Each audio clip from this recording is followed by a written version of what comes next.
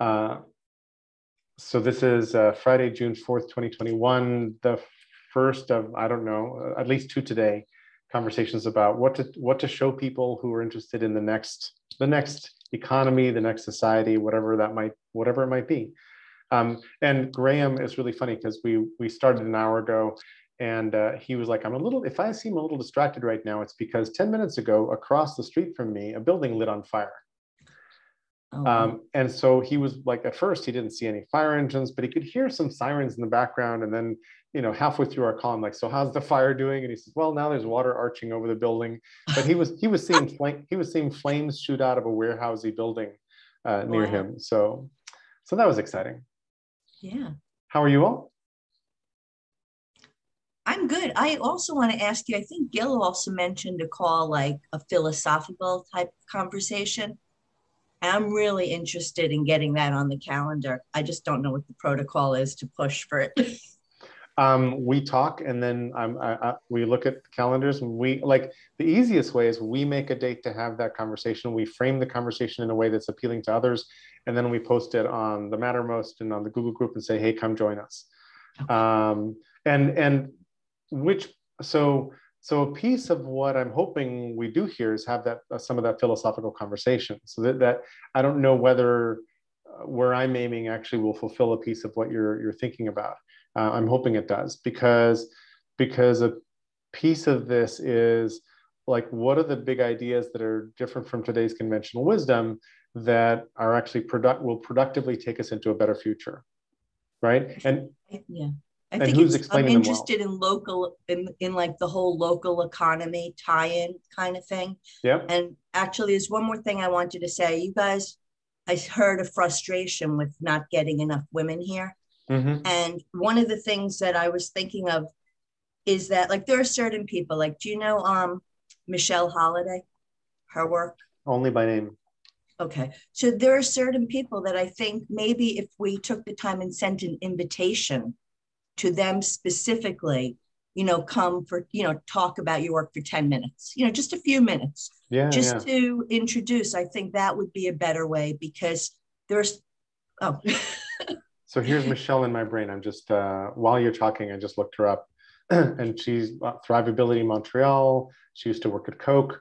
Um, i apparently like her thinking because back when i ran rex i was thinking of of contacting her to ask if she might want to be a, a Rex okay. fellow. So I think I'm very on board with her thinking, and I have not invited her to anything or contacted her. So, so that would be my suggestion as a place to start, and I think she's fabulous. I really do. Fabulous. That's a great idea. Thank you, Stacy. You're welcome. Um, and why don't we use the calls channel in Mattermost for our notes? Um, if that's okay with everybody.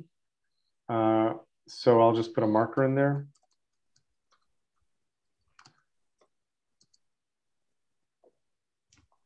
When we get off this call, I will practice getting onto there because I, I also wanted to ask you, how do I get to Trove? Uh, so I'll give you a link to Trove right now. There's a, Thank and, you. and he's renaming it. It used to be called Catalyst, but he ran into a name conflict around Catalyst. Uh, so the easiest thing I think I can give you is an invite to OGM on Catalyst, which is becoming Trove. And this, this invite, which I will put, I'll, uh, oh, that's right, I'll put it in the Zoom chat because you're not apparently on the Mattermost chat. Uh, so this should get you um, signed Thank up, you. signed up on Catalyst slash Trove. Okay. Howdy, Thanks. Hank. Uh, hello, good, hello, well, hello. Good morning to you. Good afternoon to me.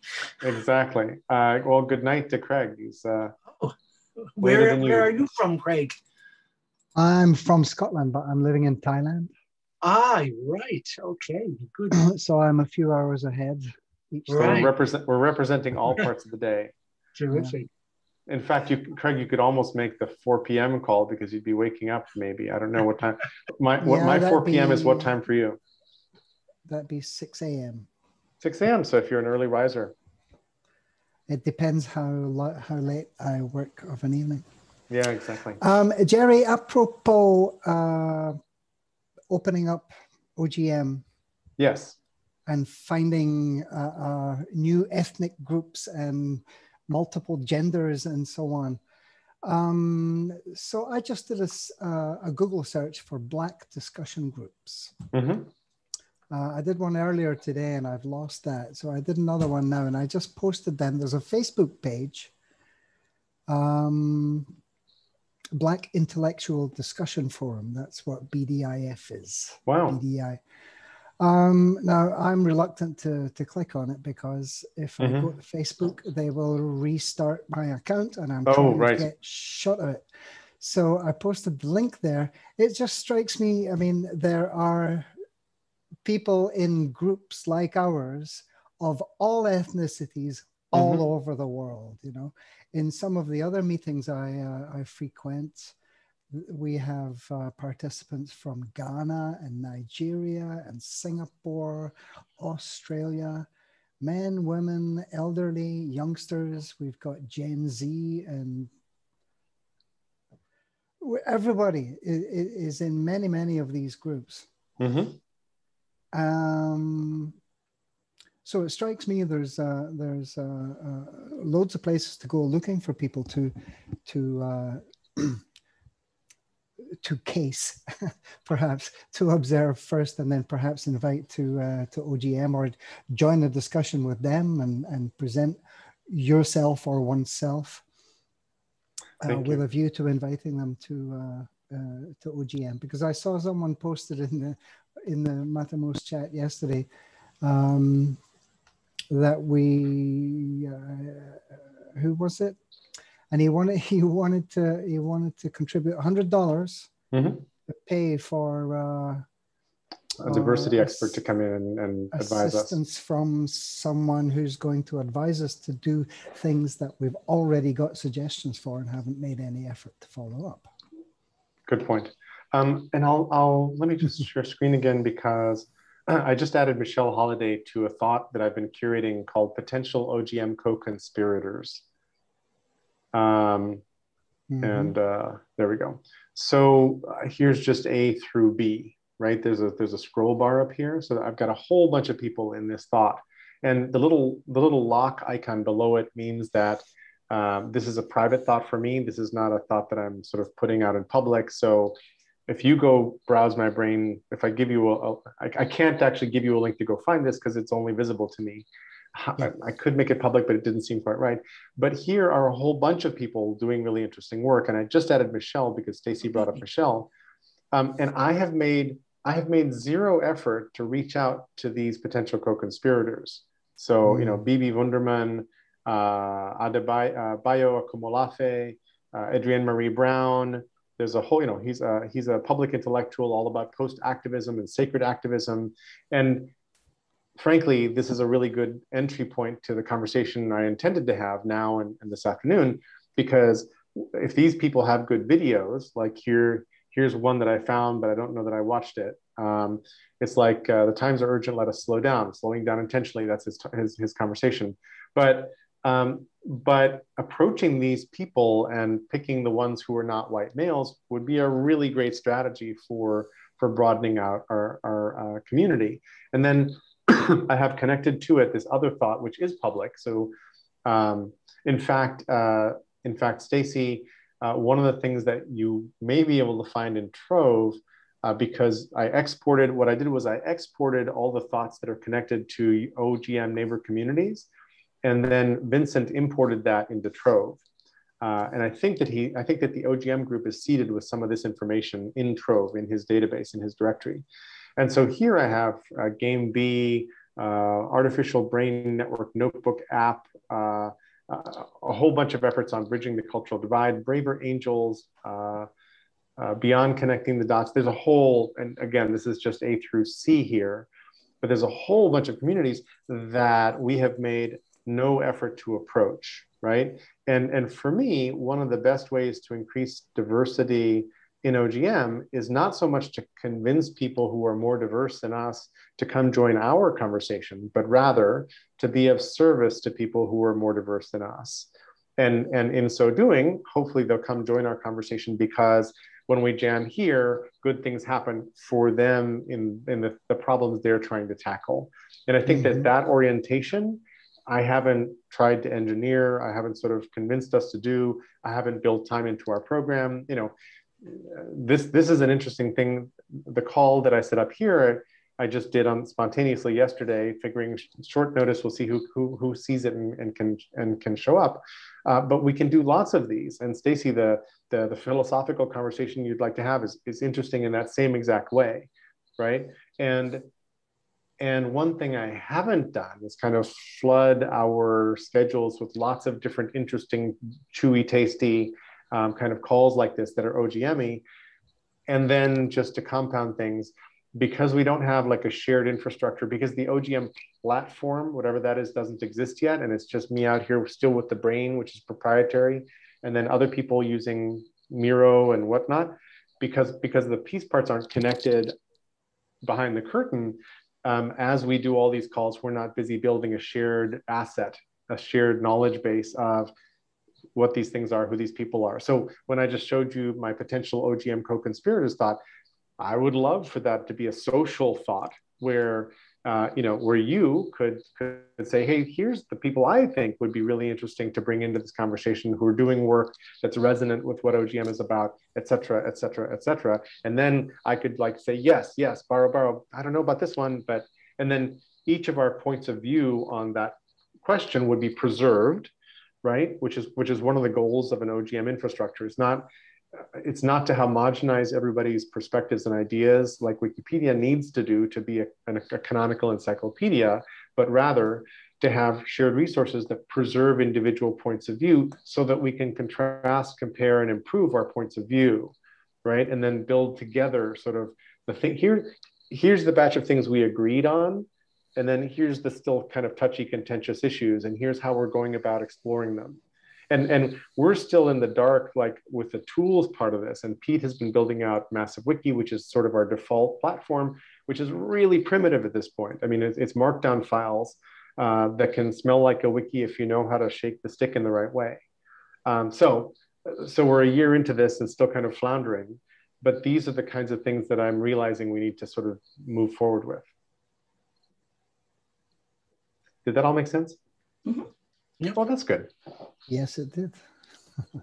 um, and uh, Gary, do you have a, a, link to the uh, Mattermost uh, conversation? I do indeed. Let me go back to Mattermost and pick up a link to this to the calls channel. Yeah, got it. Got it right. And uh, paste it into our chat. Ah. Oh, that's it. Exactly. Thank you. Perfect. Thanks. That's the one. Um, and and so uh, maybe I should go back and reframe this question as I as I'm setting it up for today's calls, or should we? Or are there any things, uh, any other things to talk about before I do that? Sounds good. Let's go there. Okay. Yeah. Um, so so the idea is you bump into somebody who's maybe center right, like slightly conservative, but not QAnon. Um, and they're curious and interested in like what's going on and what the big change afoot is. They're they don't need to be convinced that things are screwed up. That that you know I, am trying to avoid um, beating the drum of everything's broken, we're all going to die, uh, and trying to figure out who's got really interesting, positive, possibly radical uh, suggestions about moving forward. Um, who is sort of disrupting the status quo by thinking differently about the fundamental assumptions. So the call I just got off, uh, uh, when Craig joined, I was talking to Graham Boyd, who's the inventor of Fair Shares Commons. And he's written a book about this, and he's, he's got seminars and a couple of OGMers, Trey, uh, Trey Ashley uh, Garin and uh, Parmjit, have been taking his seminar and working with him uh, to learn the, the, the Fair Shares Commons stuff. And a piece of what happens in Fair Shares Commons is that profits are pooled and then shared back out, which means that all of the entities, all of the little sovereign entities that are in the Fair Shares Commons have a much higher survivability rate. And so part of our conversation just now was there's, there's, a metaphor here of why the casino usually wins, which is the casino has deeper pockets than everybody else. And what wipes out small gamblers is that they run out of their funds. And what wipes out little companies is they hit a couple quarters where they drain their runway and they don't get another round of financing or debt or anything like that, and they're out of they're out of the game. And so that's why there's so many small business failures, et cetera, et cetera. So fair shares, one of its benefits is it, it creates a much sounder platform for the survivability of small initiatives that, until they actually get liftoff, which is cool. And he also said he, part of his thesis also is that luck plays a much bigger role in company success than we ever attribute uh, to it. That, that, that really so much of this is like rolls of the dice. And if you can survive lots of rolls of the dice, your odds of, of success are much better. So, so, so that's interesting because he's undermining a bunch of conventional assumptions about economics. And one of the things I recommended to him on the call in the last hour was, hey, maybe you frame this as an antidote to the Laffer curve because Arthur Laffer was an economist whose work is really not based on a lot of facts. But Ronald Reagan seized on Laffer and made him like an important economist and used the Laffer curve to sell everybody trickle down economics. And trickle down economics says, which is dogma for Republicans right now. If you if you give tax cuts to big companies and, and wealthy individuals, they spend more money and that money trickles down the economy to all the poor people who then make a better living. And it turns out, it turns out, at least from my own perspective, that this is bullshit thinking. It's a great way to convince everybody that tax cuts are okay. And in fact, the far right has convinced everybody that that any all kinds of taxation is taking. This is one of the things I hate about libertarian thinking, is that they think that all taxes are, are illegal takings. Uh, and they have no concept of the commons, no concept of, of, of, other, other sorts of things. And again, this is just my own my own point of view on these things. Um, and I would love I would love to do um, virtual combat with libertarians and Hayekians and other sorts of people with tools like the brain and Kumu and Miro and whatnot. I'm looking forward, and maybe this is a year ahead now uh, from where we are today because of the tools. But and I haven't found like a libertarian who's built a body of work like I've built with the brain because you kind of need something to show and tell with uh, to do this. But I would love to be in, in, in, a place where we can have these conversations thoughtfully, slow them down a little bit, and then put up, okay, so here's a here's a question we think we framed nicely. What are some experiments that that we can find out if anybody's run? Uh, what can we suggest to economics postdocs as courses of study and, and cross our fingers that somebody picks one up and goes and actually actually performs this research or whatever right? So how, how, might, how might we become part of the frothy conversation that is all too often this combative, com combative conversation around big ideas that have little underpinning, that have, that have poor foundations, right? Um, so that's part of the goal here. So, so this conversation, and I keep drifting back toward this, the broader purposes of open global mind, but, but this little brainstorming, I'm hoping I'm, i would love to uncover a series of rel and I'm, I'm aiming for relatively short because there seems to be like this incredible Jurassic explosion or Cambrian explosion, sorry, of, of uh, like long form podcast conversations. They're an hour and a half and, and clubhouse chats that are not recorded that are six hours long and stuff like that. I'm like, um, nobody you're talking to and trying to convince of something is going to sit and listen to something for an hour and a half or 1% of those people will be willing to sit through an hour and a half. But lots of people have an appetite for three minute, six minute, 10 minute bites. And one of the reasons TED Talks are, are like no longer than 18 minutes is that they realize that A, you can force somebody to say an awful lot in 18 minutes. Yeah. And there's a couple TED Talks where I look up and I realize that we're only four minutes into the talk and I have learned a ton. And I'm like, how did they compress so much so well? Right. Uh, and then there's other TED Talks where I'm 12 minutes in, and I'm like, is this person ever going to say anything? Right? Um, and, and so how do we find the shiny nuggets? How do we find the insightful ones? And in particular, the radicals, the, the disruptors, the ones who are thinking against the grain, uh, but, but whose thinking makes a lot of sense. And I've got some examples of this, and I just, I, would, I would love to find many more. And I would love to make that library playlist whatever, publicly available, uh, and see if we can't crowdsource continually building it uh, so that it gets easy to say, hey, if you're curious, just knock on the door over here and then just follow your instincts through the materials that are there. You seem to have quite a collection of videos there already in, in, in the brain, Jerry. I've got some. let me let me share the screen there. Um, let me just go back to it and go to uh, sorting out the future.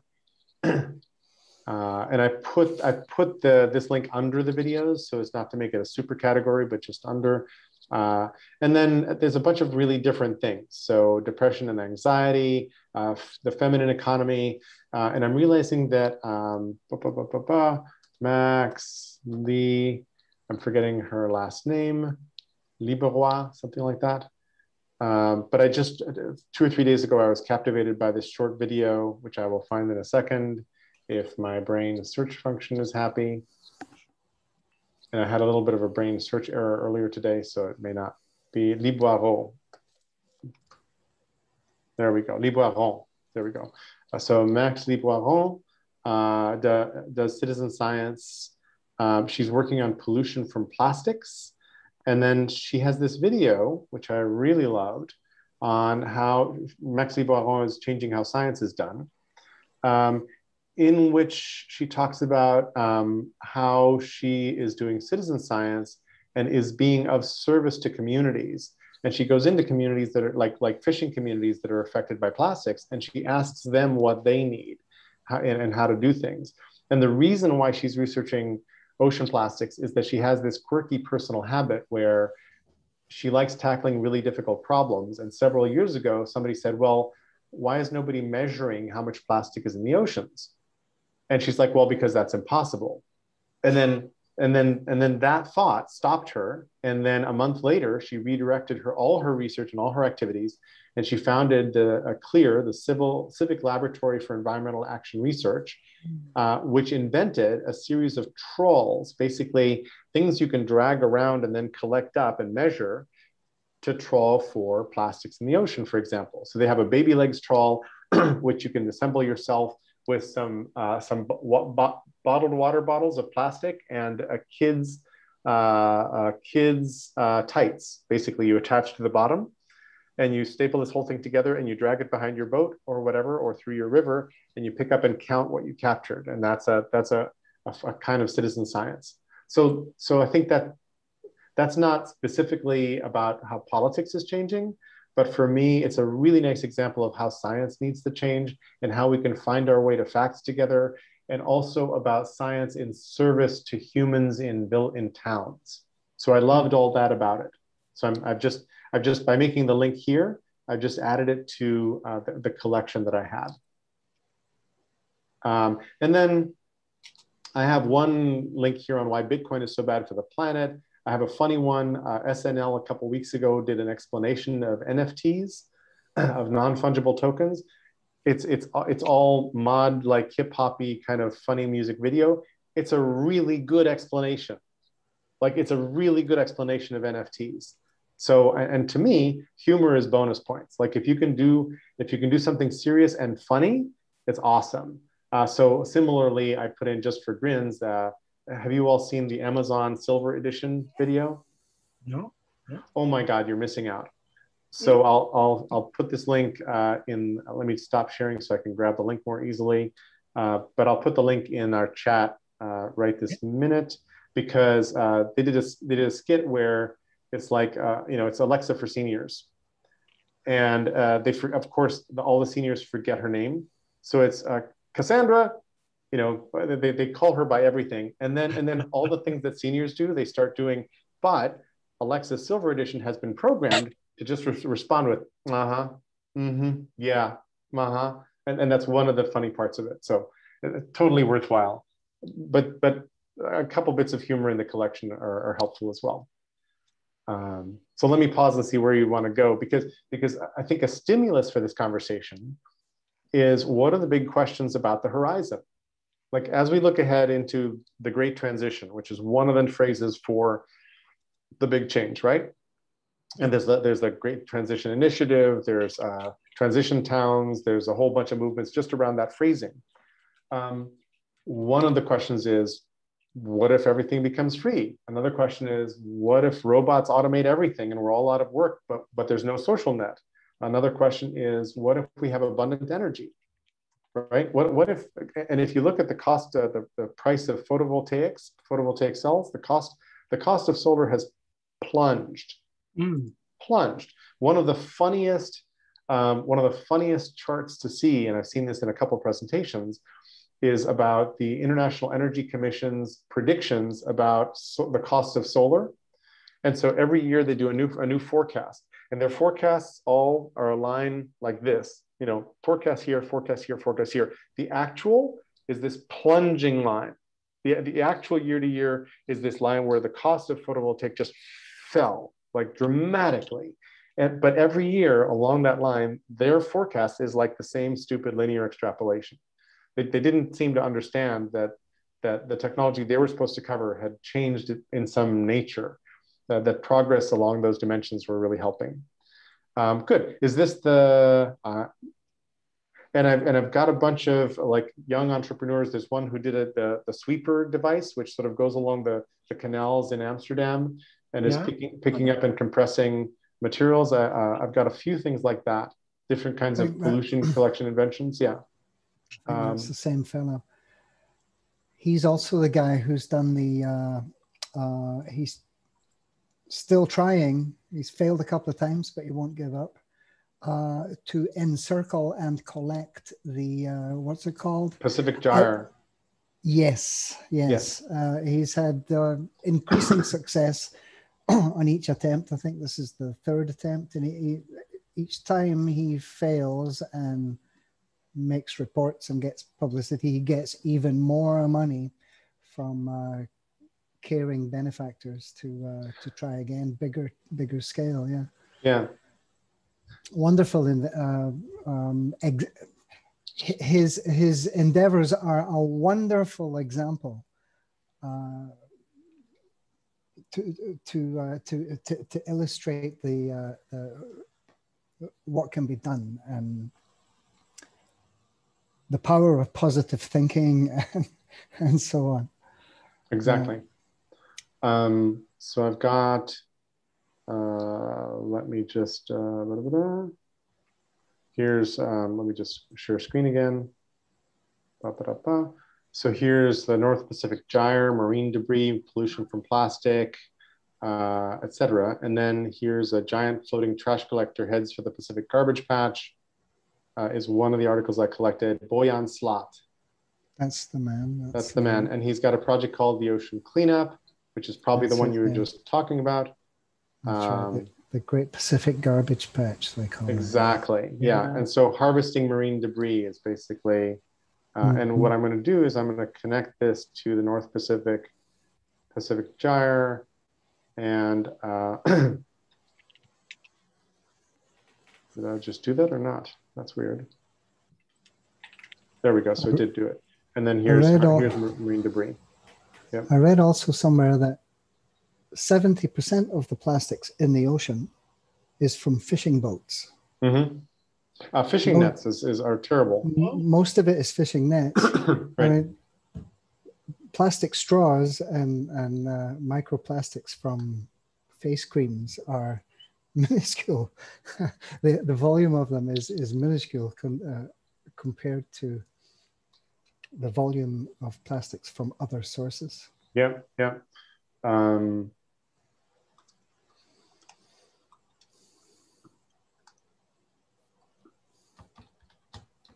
So I'm just adding lost fishing nets are a major ocean pollutant, which because I didn't have that. And then I'm going to go back to marine debris. Here's harvesting marine debris. My poor computer is the fan is on and I'm doing Zoom plus the brain plus too many tabs open. And there we go. So here's, so now I've, here's marine debris. Yeah. And now I'll connect it to the thought I just put in. Uh, here we go. So now I drag from this little circle I connect it to lost fishing nets or a major ocean pollutant. Excuse me. There we go. Uh, and then here's the general topic of microplastics and sea creatures, which is a big deal, uh, and so forth. And, and I think there's a I think there's a bunch of interesting stories of creative creative uses of pollutants, uh, creative remediation. Um, there was a, a, a Paul Stamets who's the fungus expert. Uh, he did a, a, talk years ago where he did some bioremediation using fungi. and uh, I'm forgetting which, which one of these presentations that might have been. I'd have to go back and look at it. I think it's six ways mushrooms can save the world. Mm-hmm. And, yeah. and and basically he had six piles of dirt. I'm making up the numbers here, but he had six piles of dirt that were full of uh, damaged, you know, rare earths or mineral pollution or or chemical pollution or other kinds of things. And he then used six different methods to try to fix the, the contamination in the piles. One of one of was he, he inoculated the pile with um, mycelia. And when he came back a year later, or whatever it was, I don't remember the whole experiment. When he came back, basically there were birds nesting on that pile. Dave, great to see you. Uh, and when he came back, there were birds nesting on that pile because the mycelia had broken down the minerals. Uh, a couple of seeds had sort of landed on the soil, which was now generative. A little bit of grass had grown, and then some birds figured it out, and made the seeds, and sat down and made a nest. Yeah. And things like that are really cool. hey, Dave. So trying to collect up short snippets that would convince a center right ish person with an open mind uh, that there's a huge change afoot and what what what might we all do together uh, to, to make that change happen? Like so including including kind of radical ideas like you know we're entering a society of abundance not scarcity and we need to change you know we need to flip some bits. Uh, so how to think about abundance. Uh, big proposals for public policy shifts that might change other sorts of things. Yeah basically an epiphany generator. I like that. Or an epiphany garden uh, where somebody could bump into things and start uh, start thinking about like how does this all work? Yeah, what a great question. Thank you. I mean, I, my my experience has been that I feel like in the last couple of years I've had an epiphany. Yeah. like I kind of saw the regeneration thing, and that's the word I use, and it's a different thing, and it fundamentally, you know, like it is the new paradigm Buckminster Fuller talked about, kind of. And and I kind of I know the day I had the epiphany, and then when I look at it, it took like 10 years to get to that day, kind of. So yeah, you know, building up all the EDF experience and stuff, Jerry, you know. But but then you know, like I walked around with Mark Barash on a day and he was telling these stories and the light went off, you know. But if I hadn't had the previous 10 years, I don't think the light would have ever gone off. So I, I mm. just don't know how to get to these epiphany generators, but I would love to create one. Exactly. And I've just renamed the thought in my brain to the Great Transition Epiphany Garden. and the other piece of it has just been like you know like we did with with singing frogs farm is like if you visit one of these places yes. it's really visceral. You kind of like oh and so that that helps but but i and, and so dave and his wife invited me along to a visit to a sustainable regenerative farm north of uh, uh, sebastopol which was awesome. I just loved that visit. And and my major takeaway from the visit was when you go regenerative in the middle of industrial agriculture, you make enemies in town.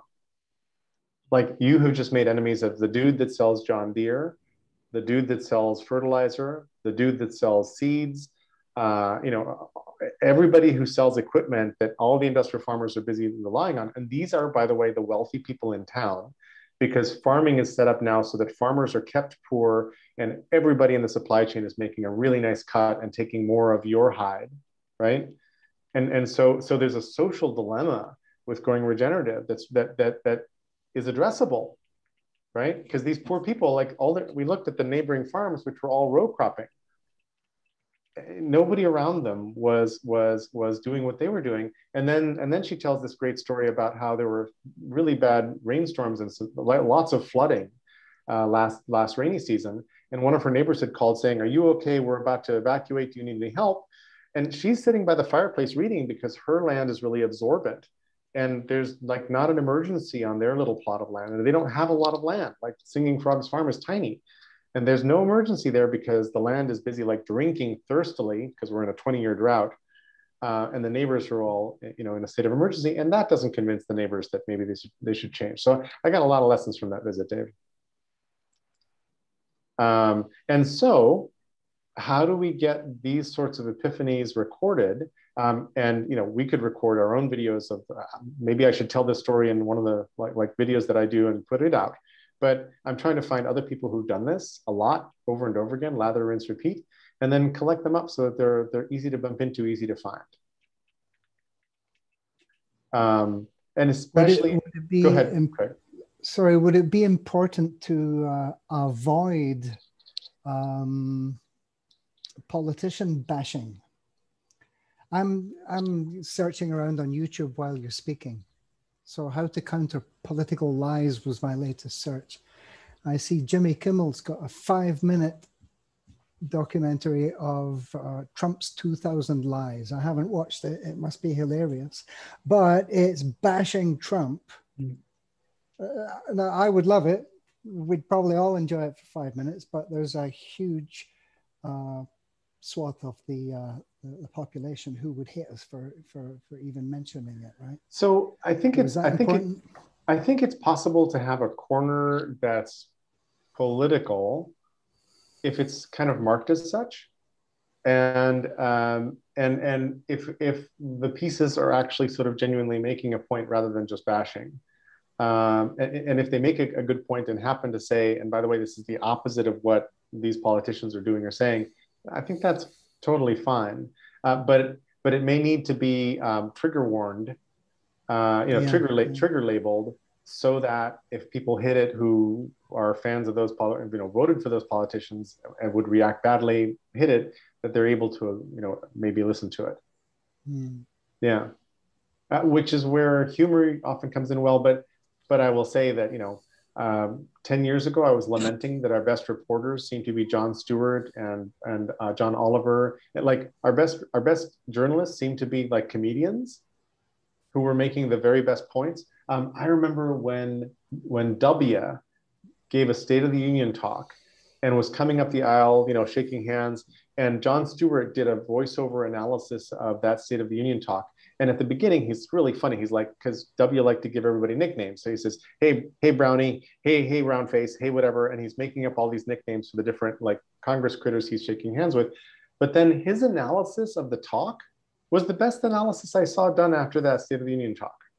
Like what he says after the funny part is really dead on and very good analysis. So that so so let's find more of those. And I think that there's probably, I'm just realizing, John Oliver's 15 minute or half hour segments on one topic, because uh, he takes, you know, he takes this week tonight to, to, to, on one topic deep every time. Some of those have to be in this collection as well. Um, mm acknowledging that the right side of the political spectrum is probably allergic to John Oliver and Jon Stewart and the left spot, the left's uh, comedians. Uh, maybe not so much Bill Maher because he's strangely sort of in the middle. Um, but but that might be really useful. And I haven't gone through sort of the, the larger collection of John Oliver's pieces uh, to, to, to pick them out. I'm also trying to find short segments inside of longer pieces. Uh, the idea then being because it's really easy on YouTube to send somebody a link with an offset. It's you know ampersand t equals number of seconds, and you're there. And there's when you do when you hit the share button, you just check the little box that says start at this moment, you know, start at this timestamp, and you're you're in business. So the idea there being, if I can send you into an hour, one of these long duration hour and a half podcasts, but I can give you a 10 minute snippet that's really vital. You might then rewind to the start and listen to the whole thing, and that's a win. That's great. Mm-hmm. Um, but you're unlikely to get there if the first 15 minutes are the host saying, Hey, here's our, our intro, our noisy musical intro, and uh, promoting the next couple shows. And then finally, here's our guest. And then finally, we get somewhere. Um, and then solar punk and also um, Afrofuturism um, ecofeminism. Uh, there's there there are a whole bunch of, of until recently kind of marginalized ways of looking at the world in the future that are really interesting um, that I think are, are, very useful here. So so like in solar punk, um, are there pieces we can point to? And part of the problem with having a, a, a, brief call about this is that really, once we start talking about this and getting good ideas, this is part of the reason why I booked two calls for today. And, and I think I, I want to repeat this, thing, this exercise, is that we then need to go away and go, oh gosh, okay, let's do some research and find a couple snippets and then contribute them into the, to the chat. Uh, maybe I should create a new channel in the Mattermost uh, called Epiphany Garden or something like that. Would that make sense? And then we can sort of share links there. Um, that might work. And let me stop talking so you can all jump in because I'm excited about this. Sorry. Well, listening to to what you're saying as a sort of outsider, because I don't live in the states and I don't I have no reference points for for the uh, left wing uh, comics that uh, uh, that you mentioned, and most of what I know about America is filtered through my hour a day watching uh, CNN. and, and you also happen to live in a high functioning country. Well, that's that's another discussion altogether. Yeah, but, there is yeah, okay, that. Uh, but from my CNN bubble, when they are showing, uh, uh, uh let's let's say uh, Trump supporters and and those various people you would like to get into dialogue with, uh, they are so fanatic they can be triggered by two wrong words or by the wrong nuance of, and I, will come back to what Craig was saying, because I, I, think that's really, really, a big danger of uh, triggering people, even when you're not bashing a politician or not bashing their cherished values, they'll hear things which you don't intend. So I'm wondering if there shouldn't be this project or initiative done on several levels. And one level is definitely preaching to the converted, people in OGM. Right. And people in OGM can really enjoy the, the different uh, snippets and, and, and short videos that people are, are, are going to contribute and come up with, and maybe synthesize a kind of message that won't too easily be reinterpreted because looking at those people, Trump supporters and, and MAGA people and people who love the big lie, it's going to be very difficult to get past the many uh, armadillo shells uh, around their thinking. Yes. So to make it short, my suggestion is think about doing it in two or three levels and then testing the middle level.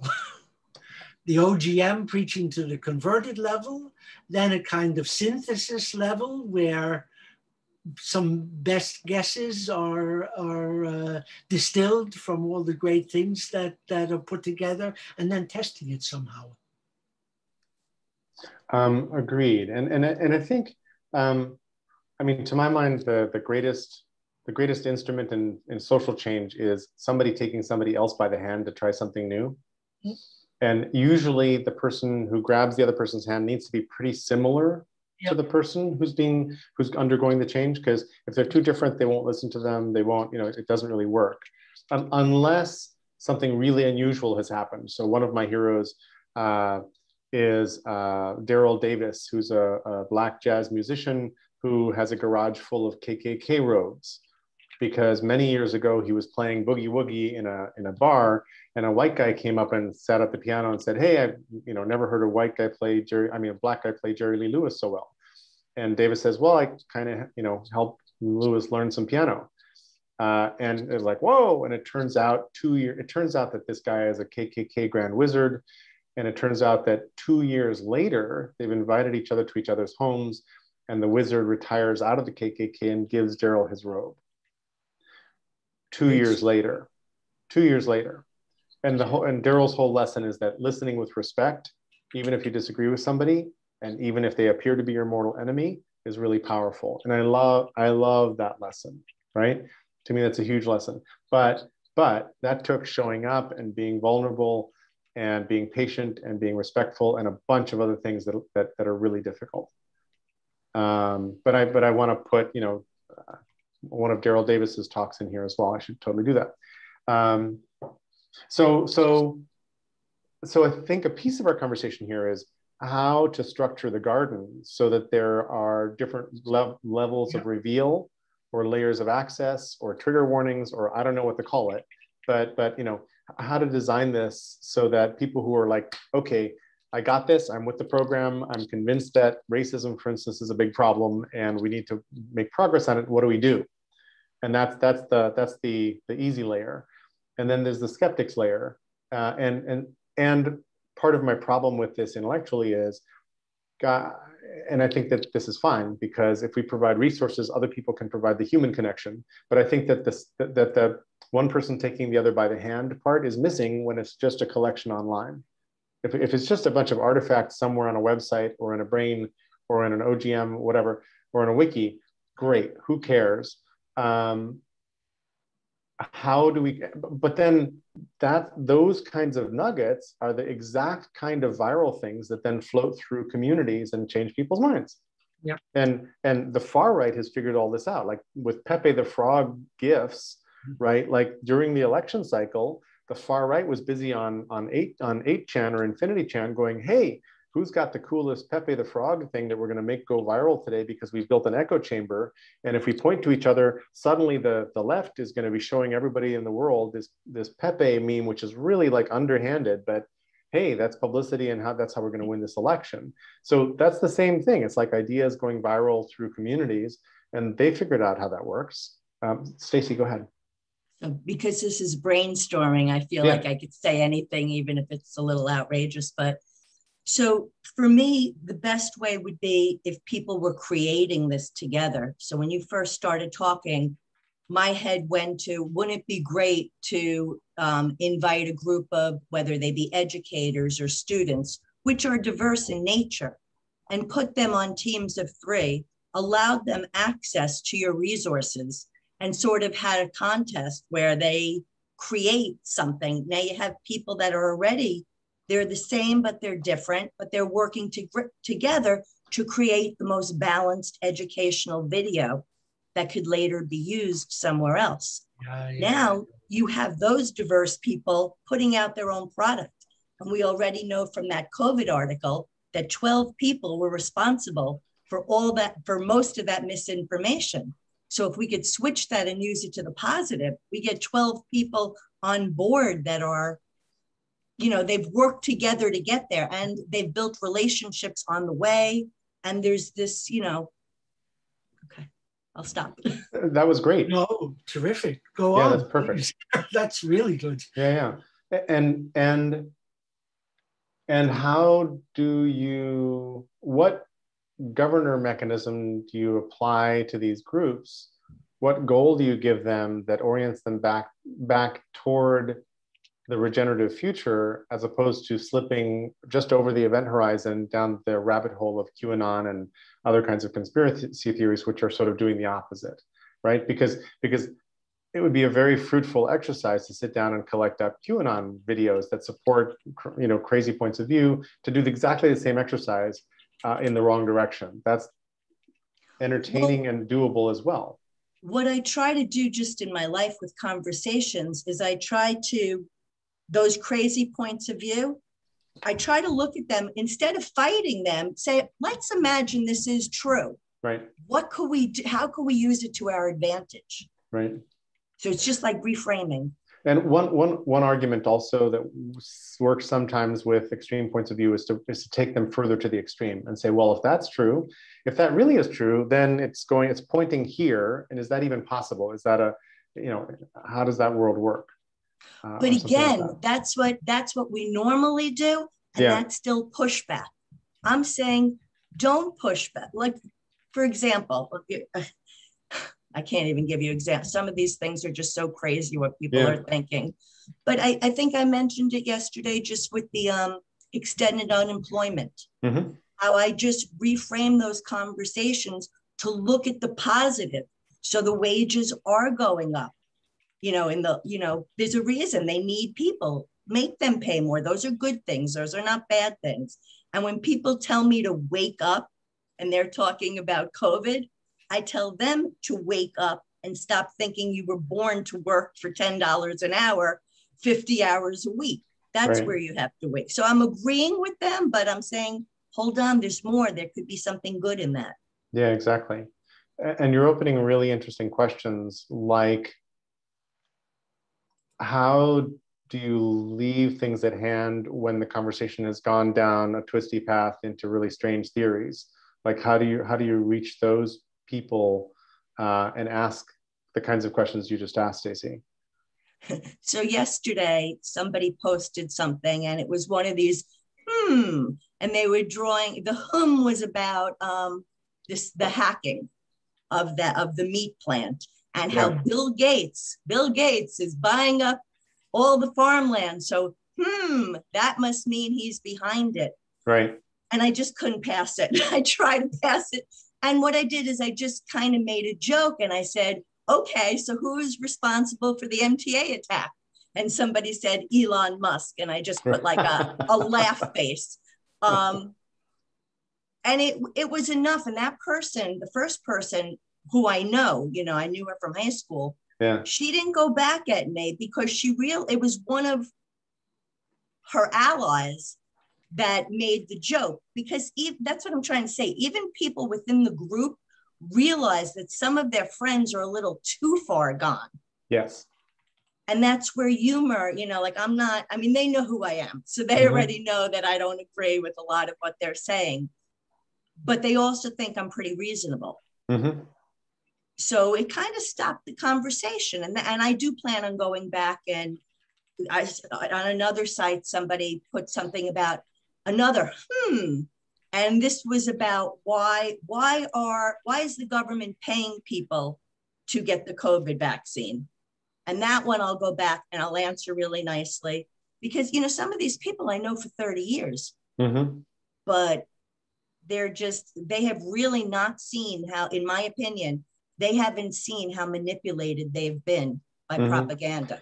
And that's the really weird thing about QAnon, for example, is that the I think a big reason it exists is that it acknowledges and preys on the fact that we've been manipulated by propaganda and by all kinds of stuff. And it's like, yes, that's right.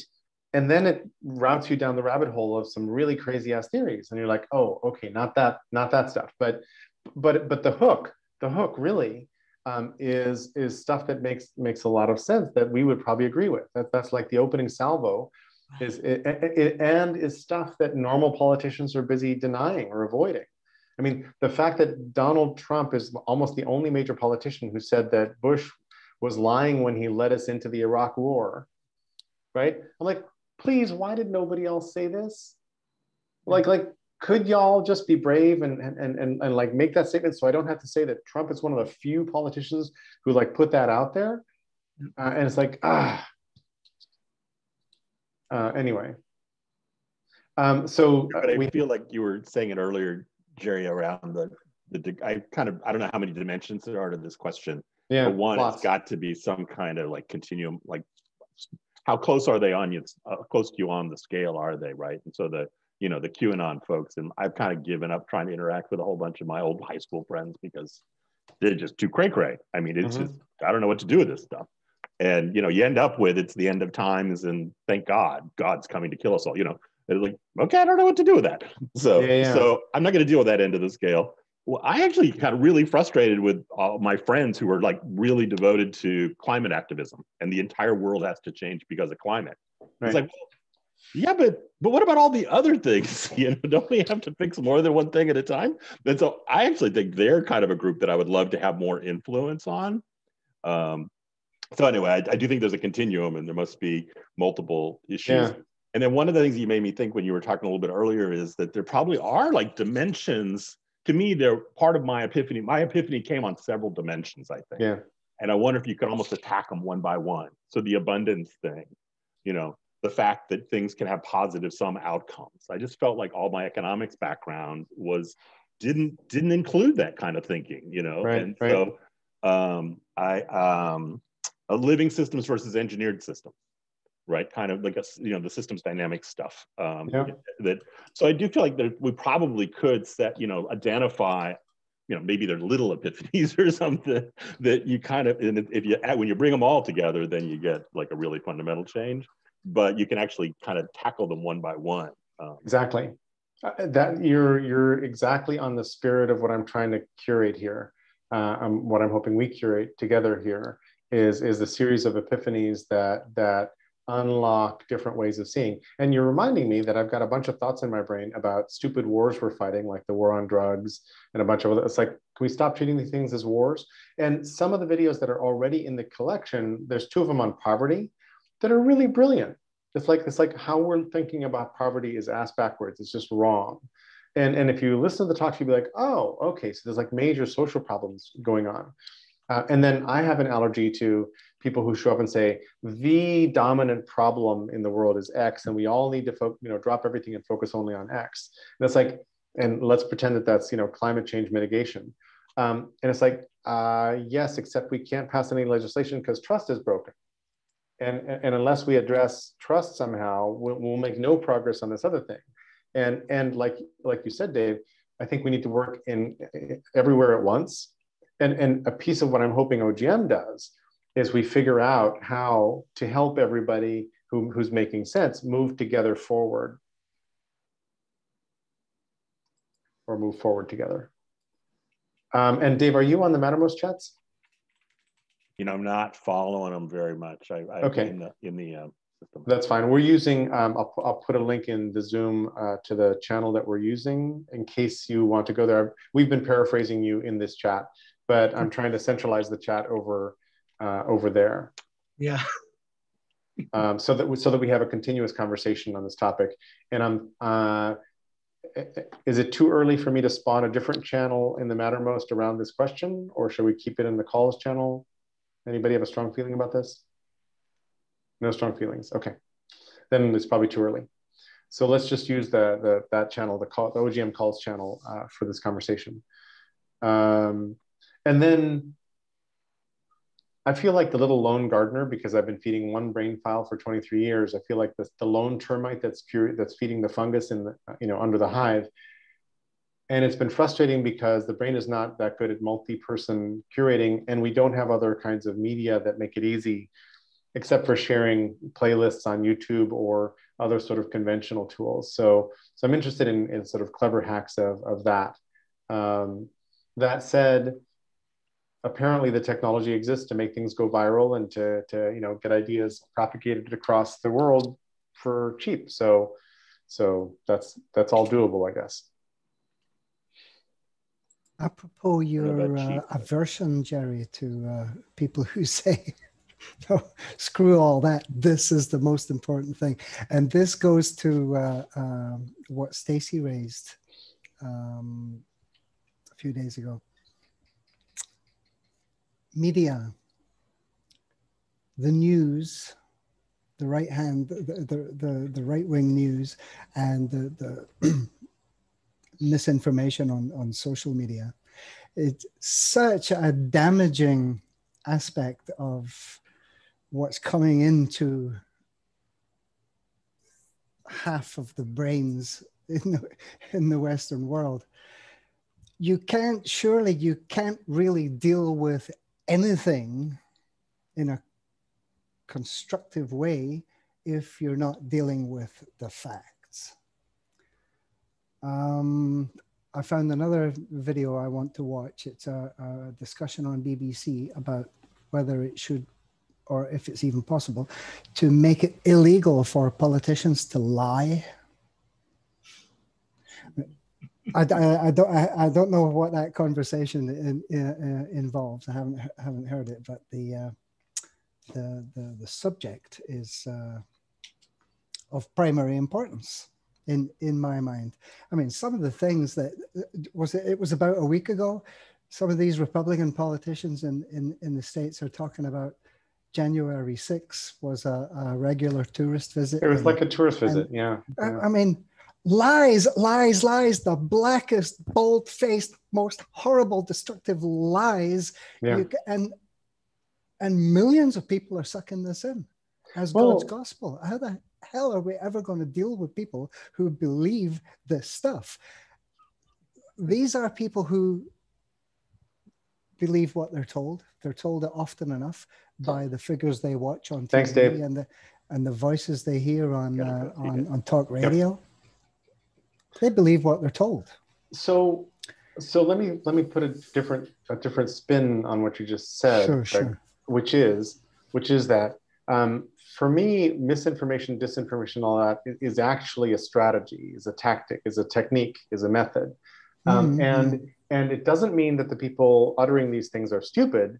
It means that they've decided it's okay to do this because situation is so desperate that you're going to have to lie like a rug in order to change the course of the conversation and prevent, for instance, an actual commission from saying that five Congress people should be indicted for crimes because they were busy you know, because it turns out that their phone records show that they were talking to the people in the crowd, directing them into the building, for example, which I think might actually be true, right? And and and an investigation might actually indict Trump of incitement uh, to riot, et cetera, et cetera. And clearly they don't want that because they've all drunk the Trump Kool-Aid. So these are all measured lies that are done without not because they're dumb and they, they they've been fooled into believing this but because they mm-hmm. believe this is their only option is to lie this way and so therefore one of the lies is we just have to minimize january 6th and convince people that this was normal and so we gaslight by saying this was just like a tourist visit and people buy it not because they're too dumb to see that there was like a riot and windows were broken and people were hurt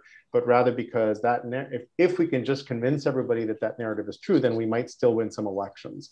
And there's a there's a titanic battle on the ground in the us right now between a party that appears to be clearly racist and has figured out that if elections are fair they will never like win a majority again and be able to control legislation and the, ju- the judiciary and whatever else.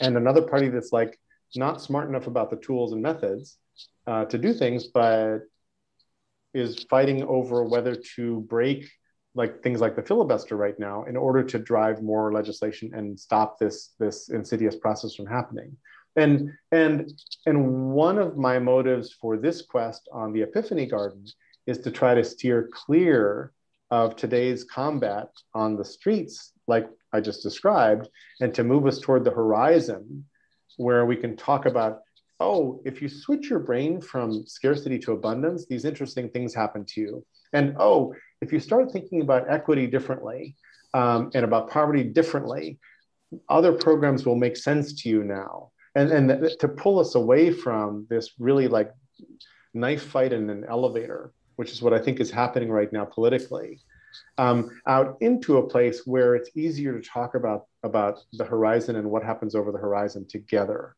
Um, and where people might be able to, you know, agree on those sorts of things, with without going toward, we just need world peace and here's a rosy, you know, all crystals, all singing future, which, which I think, you know, is great, is is, but but isn't isn't tangible, doesn't give you things, ways to shift your thinking, things to things to do. Yeah, there's certainly more profit in in focusing on uh, on how good the future can be if we do this and that, rather than focus on how awful it's going to be if we don't do. Exactly. You just get defensiveness exactly. to to that, that, that. That's a kind of attack. But the other the other form is inspirational. Exactly. There's a piece of this that I'm really looking for and haven't I, I, wasted a lot of time sort of throwing away videos because I just couldn't find this nugget. But there, there are a whole bunch of initiatives in the world trying to change, a flip a bit in humans so that we stop seeing ourselves as separate individuals competing for scarce resources mm. and start th- seeing ourselves as completely interdependent and needing to figure out how to keep the, the pale blue dot you know, uh, so that it's fruitfully feeding us all and not like falling apart.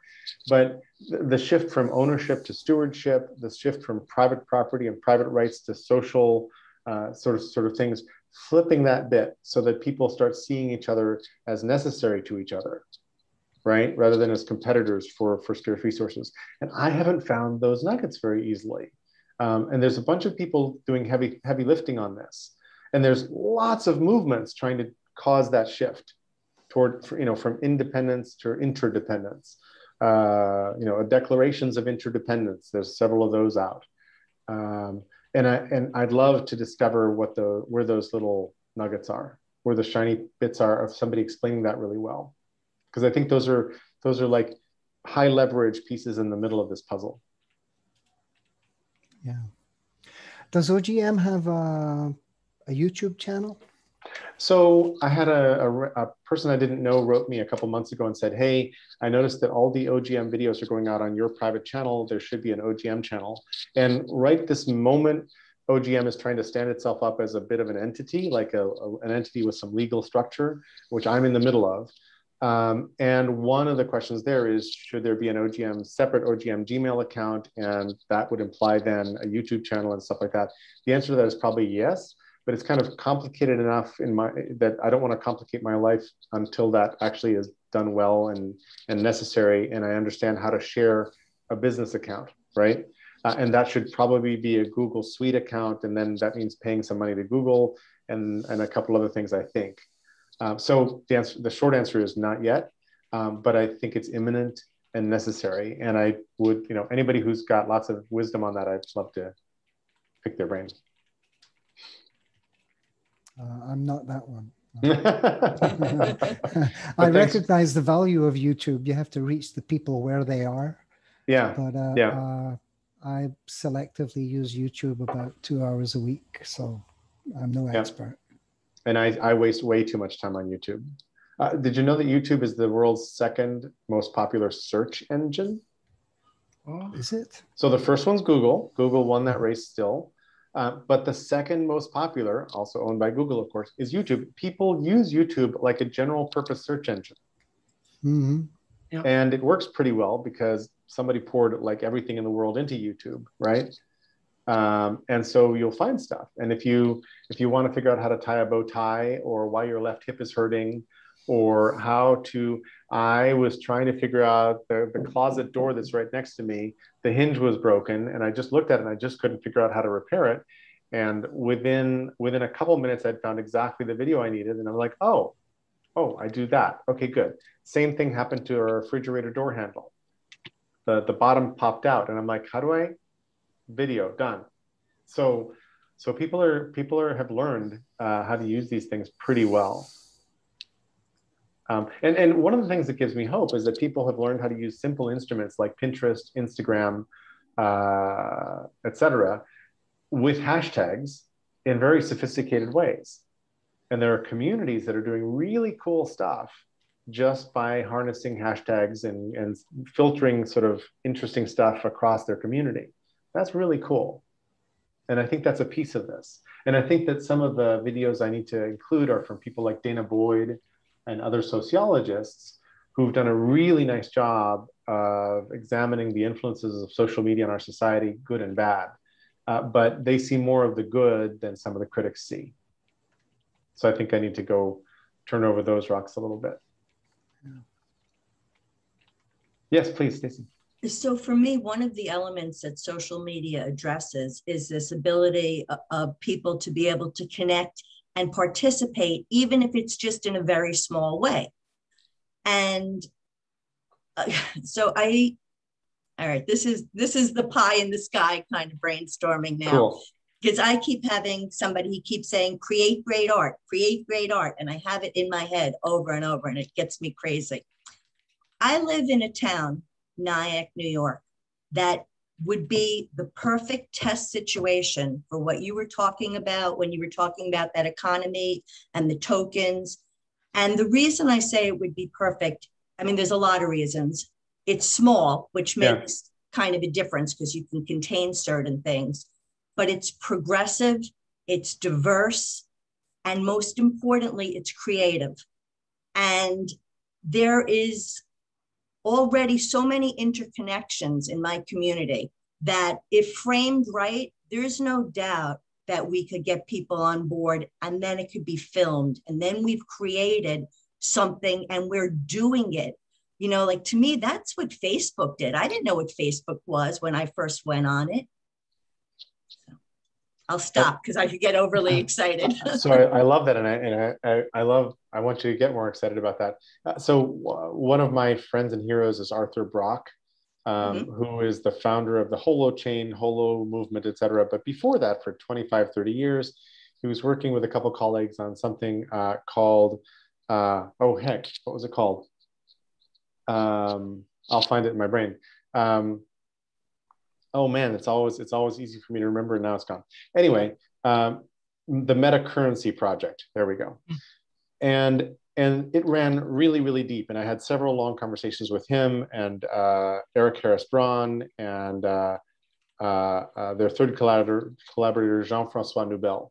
So the three of them basically were, were, were coding and thinking very, very deeply about these things. Then at some point, uh, a decade ago, uh, somebody who owned a cardboard mill on the Hudson donated it to them temporarily because it was derelict. Nobody was in there. And they went and they started a school and they invented basically um, uh, agile learning centers, ALCs, and uh, ELL, the uh, uh, a bunch of sort of sort of like fast learning things that apply apply agile to learning in a in a business sort of setting. And they invented a bunch of stuff, put it out in the world, um, and and other people then across the US and I think in other countries have picked up the Agile Learning Center model, which is a add water and stir, build your own little school kind of thing uh, which is really cool, right? Sort of instructions. And I'm a little sad that Arthur's last seven, ten years have been kind of hijacked by this holochain thing.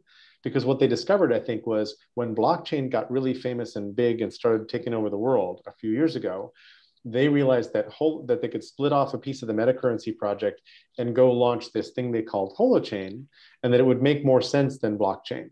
And then a whole bunch of reality happened and they've there's i think they're a little stuck in trying to make holochain an actual platform that can in fact compete with blockchain and do all the things that it promises to do because reality got in the way in lots of places.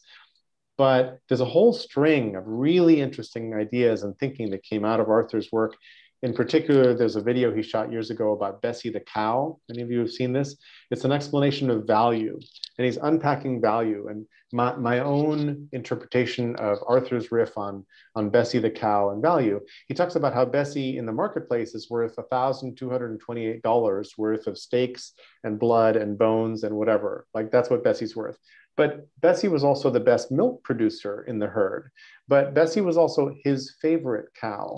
And, and, and, he, and he basically unpacks lots of layers of value that Bessie had, which the modern economy compresses into dollar value, right? Because you buy and sell, you, you take Bessie to the auction, you sell her, and they cut her up into, into, into, into bones and bits. Um, but this idea that we've compressed value to me is one of these aha little moments about oh, why don't we let value breathe and stop making and and for me, one of my favorite videos is one of my favorite books is The Great Transformation by Karl Polanyi, which was written in 1944. Uh, uh, and it's a description of life from pre-industrial to early industrial society. And he's talking about partly about how in pre-industrial society, everything didn't have a price. Like most of us stayed alive without having to earn money to stay alive. Most of us stayed alive because we were householding, which means you planted potatoes and carrots and had chickens in the backyard and you had a pig. And when you slaughtered the pig, you shared the pig out with your neighbors because when the Joneses killed their pig, everybody ate too. And there weren't refrigerators and freezers, right? So you could salt or smoke, but etc. And, and, and he talks about that process and, and how modern assumptions aid our brains. And, and he talks about how three fictitious commodities, and I did a short video on this that I should put in the garden because uh, he talks about how the Industrial Revolution creates three fictitious new commodities, land, labor, and money. And it isn't that land, labor, and money didn't exist before, but you couldn't go down to Century 21 real estate and buy a plot of land because it belonged to the church or the king or was inherited or whatever. Like there wasn't a free market for, for, for property for land. Um, there wasn't a labor force. People were uh, apprenticed or tied to a feudal lord, or there wasn't a free labor force that could pick up and go take your job at the factory. And then everything didn't have a price. There were coins, but they were kind of exceptional. And if you read Graeber's book Debt, um, and you you read sort of he the first thing he does is debunk the, the myth that economists love that money exists because it replaced barter. He's like, within a village there was very little barter. People stayed alive in these other ways that he describes: uh, reciprocity, redistribution, and householding. Um, and so all of that comes together into this story that that that is how the modern narrative ate our lives back around 1750 and that through all of history before that, the implication is through all of history before that, humans lived together and stayed alive in, in different ways, where everything didn't have a price and all the things we take for granted now didn't exist, right? And it's it's a bit, Stacy, what you were saying earlier that that you know you don't have to work like 80 hour work weeks and devote all your labor to the thing and like like that model is something that we were sold that is now up for renegotiation and, and so for me, one of the exciting quests right now is, hey, if we're renegotiating the social contract in several different ways, what does that turn into next? And, and so the quest here for epiphanies is a way of feeding that conversation, is a way of feeding our explorations into what are the next viable contracts at the social level, which is sort of geopolitical and sort of economic, and at the enterprise level, which is what is the company, what is for-profit, nonprofit, what model should the company use, how does value make its way around all of this, uh, and and what are the value models in all of this that nurture the thing we share, the commons between us. Sorry, that was kind of a long, a long rant, but I'm trying to I'm trying to talk my way through. This is like the talking cure. Um, trying to talk my way through why do this and how does it fit and what is the broader philosophical conversation that is necessary so that these things hang together in uh, in a new narrative in a new web of ideas. Yes. I just want to highlight what you just said about the talking cure and talking your way through because I think we need to afford that to other people to start thinking about what is it they really think. Because, like what Craig was saying, I, I kind of agree. There are certain, I don't think they're too dumb, but I think there's no thinking involved. It's like a, just a de- default setting. Right. So I think we just have to create an environment where we allow people to talk a little bit more. You know, like I said, well, so if you think that, you know, this was Antifa on January 6th, don't you want a commission to find out? Let's find out. You know, like just I think we need to listen to people more, is what I'm saying, and not. I, I don't mean the voices that are already out there, because those voices made it to made it to the top for a reason but exactly. I'm talking about the ones that are feeling stifled, which is who Trump tapped into. Totally agree. Totally agree.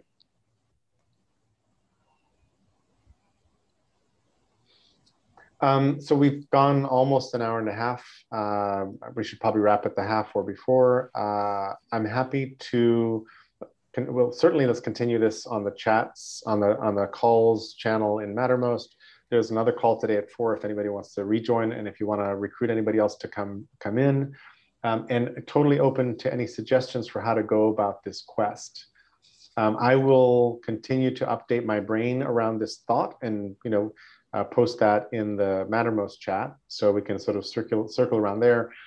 There are plenty of other ways to manifest this list. Um, and maybe an interesting thing is to create an Instagram channel. I don't really like Instagram, but but maybe that there's an interesting path here to put this conversation somewhere else and create a feed that we can sort of uh, continually drop interesting things into. I don't know. Um, I like the idea of a multi-tiered, multi-ringed uh, garden where uh, people who are at different stages in this process can find materials that are resonant for them and that don't cause them to bounce out of the garden entirely. Because I'm all too aware that when the entity that's trying to tell you something is too different from you and is saying something that's too contrarian to your belief systems, your very likely reaction is to jump out the door and pull the ripcord.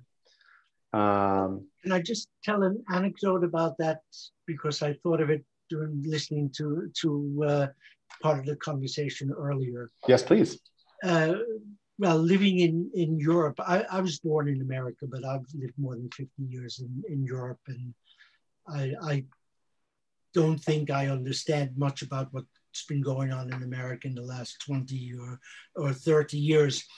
But there was a time when my wife and I went back to America and we did these trips to national parks and as as you know, you go into a national park and then there's a, a pull out for cars with a beautiful overlook.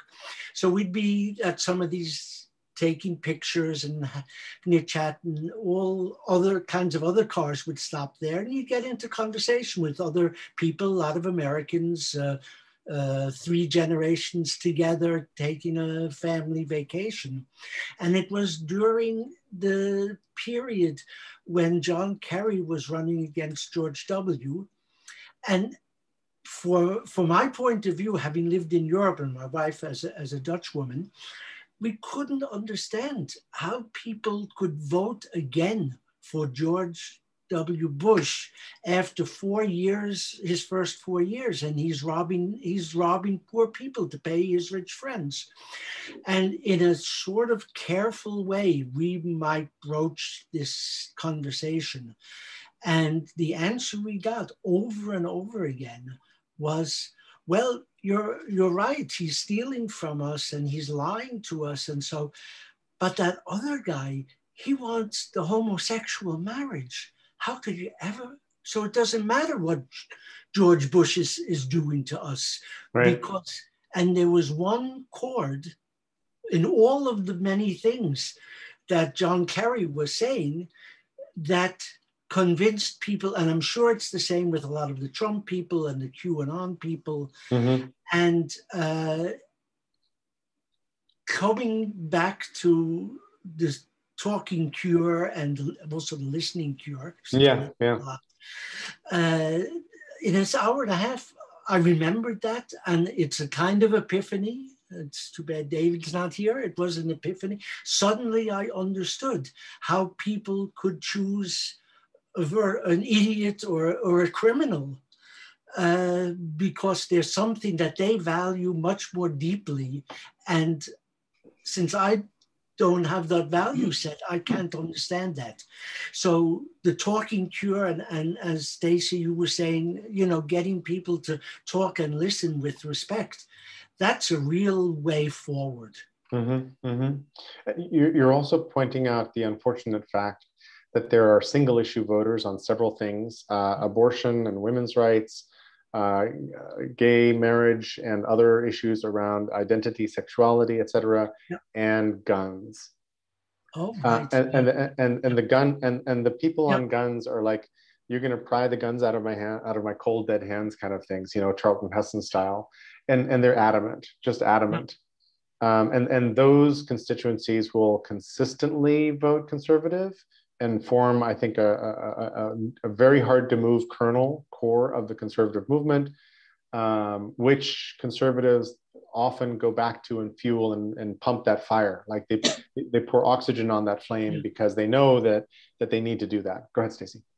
Yeah, I just want to point out, especially with the gun thing, because I've seen this really happen, where people who were not really into guns at all, 10 years later, they are like all for mm-hmm. guns. And what I want to point out, though, is the role that being part of a community played.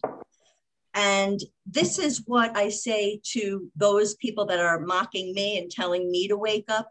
What I throw back at them is how they've been manipulated into this gun culture, you know, and how, you know, that, you know, the gun, the gun industry has created the best marketing program to fool you all. Hmm. And that's how I get into that conversation where we start talking about like, how many guns do you need? Or well where did you get all this fear from? Because again these people are very quick to tell me that i'm living in fear because i choose to get vaccinated.